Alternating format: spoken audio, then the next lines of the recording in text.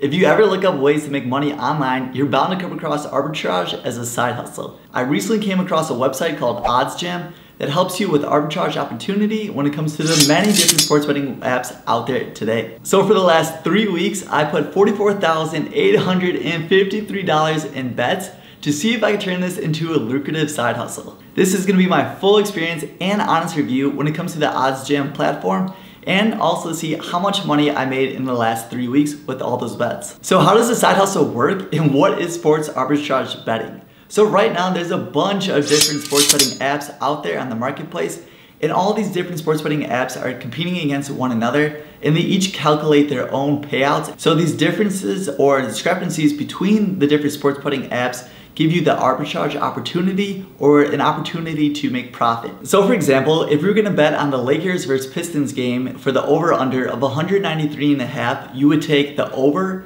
and also the under. You might be asking yourself, how do you make money if you're betting on both sides? Well, like we just talked about with the different sports betting app, there's different lines and payouts that they have depending on what app. So OddsJam is gonna help you see what the arbitrage opportunities are so say for example, if you bet $500 in this situation right here, you would actually profit $12. And this is gonna have the opportunity to give you a risk-free bet because you're taking the over and under, and then you're just gonna profit what the differences are in the payouts between the apps. OddsJam is gonna help you find those zero risk opportunities to make money from. So whether that's a mainline bet, such as a spread, over under, or a money line, or even helps you find opportunities when it comes to player prop bets, such as how many points a player is to get or say even rebounds. Before you get started with the side hustle, there are a few items to be aware of. First off, sports betting has to be legal in your state. I live in Illinois and there's six different sports betting apps that I could use.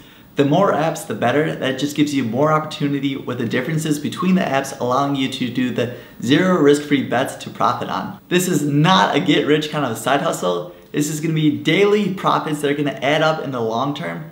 So if you're making anywhere from say 5 to 50, 60, 80 bucks a day, if you look at this every day, it's gonna add up to be quite a bit of money every week or month with doing this side hustle. The last item to note is OddsJam isn't meant for everyone. If you're relatively new to sportsbook betting, you might want to avoid this because there's a lot of nuances and you have to be quick with putting in these bets.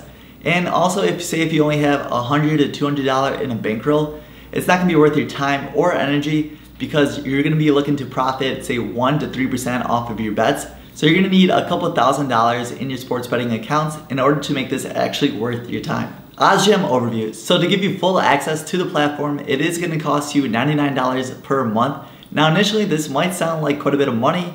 I know initially I was kind of sticker shocked, but let me tell you OddsJam offers a bunch of value to have their services.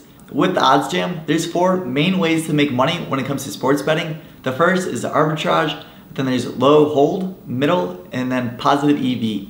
For this video, to make it simple, I just concentrated on arbitrage sports betting, even though I did get a couple free bets throughout my three weeks of this testing, and I did use the low hold method, but I have to say about 95-97% of my bets were all made through arbitrage sports betting opportunities. Some other great features that the OddsJam has is gonna be the homepage. It does a great job of tracking all of your different bets. So for example, you can see how much money you made each day, week, or month. You can see what sports have made you the most amount of money. You can see the different books and what kind of sporting apps you're either up or down. And this gives you a great overview of how you're doing and how you're performing. If we take a quick look here, we can see all the different active bets for arbitrage that we can currently put a bet on to make profit. For the arbitrage betting, it's super easy to check the different opportunities to make money. It updates pretty fast and you could organize it by your profit return, uh, when the date of the event is, and then also what sporting event.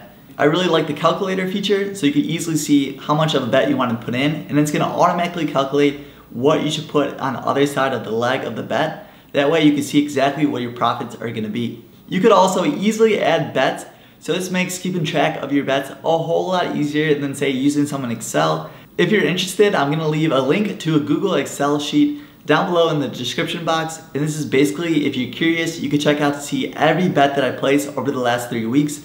I just wanted to include this because I know if I was a viewer, I would definitely be curious to see what kind of bets I was placing. So I know the biggest question everyone's dying to know is how much money I made in the last three weeks of using OddsJam. So drum roll please.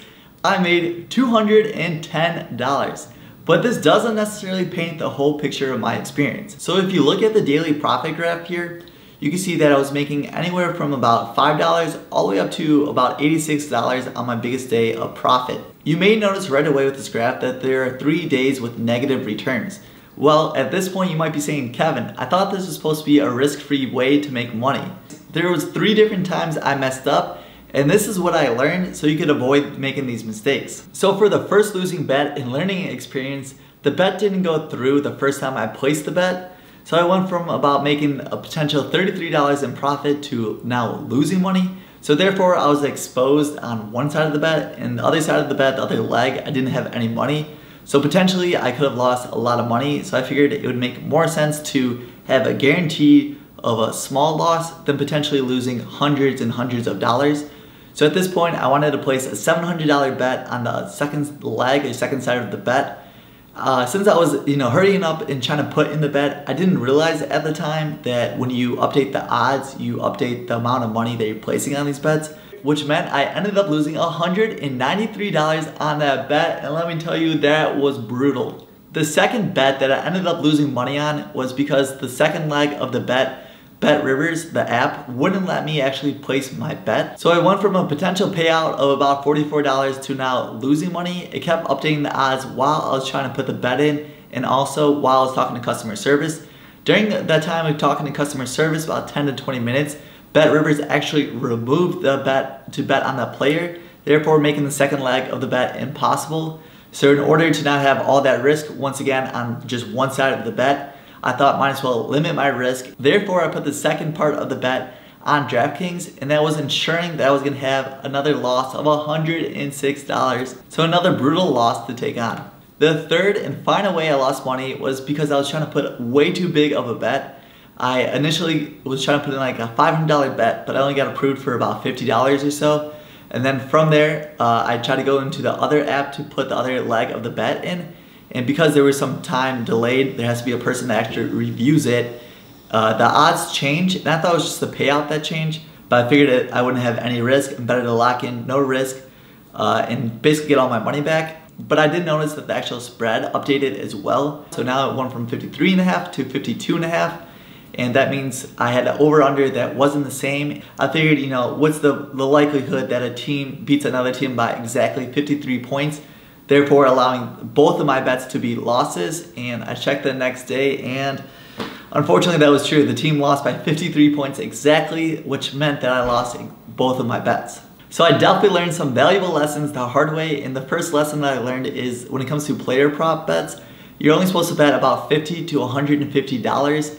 I was trying to go crazy with these, put six, $800, and this is a massive red flag to any of these sports betting apps and they definitely limit you or have to have a person manu manually review that bet in order to approve it. But most of the time you're only gonna get approved about 50 or $100. If I would have followed this rule, I would have avoided the first two losing bets.